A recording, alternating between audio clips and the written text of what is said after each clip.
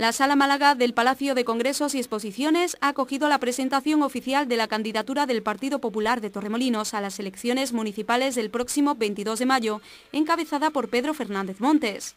En un abarrotado recinto y tras la presentación a cargo de Elías Bendodo, presidente provincial del PP, intervino el candidato a la alcaldía de Torremolinos por el Partido Popular, Pedro Fernández Montes, actual alcalde del municipio. La transformación que hemos realizado de la ciudad de Torremolinos y las prestaciones que el ayuntamiento ofrece a sus vecinos son los avales, son los hechos y realidades, el lema que vamos a llevar en nuestra campaña, hechos y realidades con los que vamos a comparecer ante los vecinos de Torremolinos el próximo 22 de mayo. Y por ello, ahora toca hablar de futuro. Lo primero es lo primero. Vamos a ganar las próximas elecciones municipales y vamos a seguir gobernando en Torremolinos. Y lo vamos a hacer si somos conscientes de que si las encuestas no son favorables, la única encuesta real es la del 22 de mayo.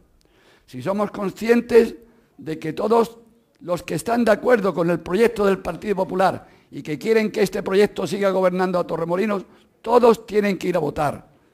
Nos tenemos que preocupar de los amigos, de los familiares, incluso de aquellas personas que vayan a salir de viaje, que se preocupen de hacer el voto por correo, de aquellas personas que conocemos que están impedidas, que también hagan el voto por correo, que el Partido Popular les prestará naturalmente la ayuda.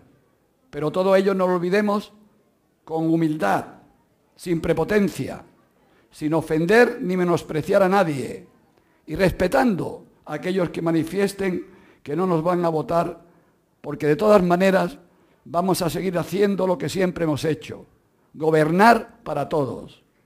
Vamos a llevar un programa de gobierno, que lo presentaremos en su momento, un programa serio y realizable, un programa naturalmente adaptado a las actuales circunstancias económicas, un programa que vuelva a merecer la confianza de los vecinos, un programa en el que no vamos a bajar la guardia en las prestaciones sociales y desde luego mi compromiso personal con las atenciones a nuestros mayores.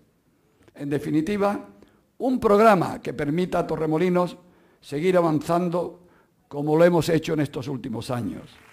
Pedro Fernández Montes, profesor de idiomas y alcalde de Torremolinos desde 1995, encabeza una lista en la que figura en segundo puesto el abogado y hasta ahora primer teniente de alcalde Ramón del Cid Santaella.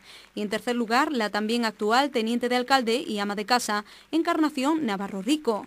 El resto de componentes de la candidatura continúa en cuarto lugar con Margarita del Cid Muñoz, abogada, en quinto Plácido González Guzmán, médico, en sexto, Ada Hernández Luz, economista y abogada. En séptimo, María José Jiménez Velasco, abogada. En octavo, Pedro García Díaz Guerra, empresario. En noveno, Inmaculada Rosales Ramírez, empresaria. En décimo, Francisco Carmona Pérez, empresario. En décimo primer, Juan Manuel Gómez Castillo, perito. En décimo segundo, José Julián Bueno García, economista. En décimo tercer lugar, Susana Craiby Martín, profesora. En decimocuarto, Antonio Carrión Navas, perito. En decimoquinto, Karima Mimomo, ama de casa. En decimosexto, Patricia Ojeda Paredes, abogada. En decimoséptimo, Alicia Cerdán Burruezo, empleada. En decimoctavo, Ana Belén Ferrer Velasco, licenciada en Filología. En decimonoveno, Cristóbal Molina Sibaja, licenciado, profesor en Música. En vigésimo, José Carlos Rueda Luque, estudiante. En vigésimo primer lugar, Natalia del Cid Muñoz, abogada. En vigésimo segundo, José del Pozo Carrillo, funcionario. En vigésimo tercer, David Lázaro León, funcionario. En vigésimo cuarto lugar, Alejandro Quijada Navarro, funcionario. Y en vigésimo quinto, Diana Vallejo Cortés, profesora. Al considerar el Partido Popular que se está gobernando a satisfacción de una gran mayoría de los ciudadanos de Torremolinos, ha decidido presentar solo tres novedades respecto al actual equipo de gobierno.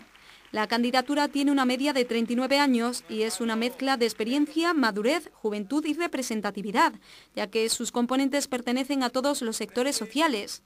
Tiene como objetivo que todos los vecinos se sientan representados en ella, sea porque sus componentes les son conocidos, sea por afinidad profesional o social. El acto finalizaba con los himnos de España y Andalucía.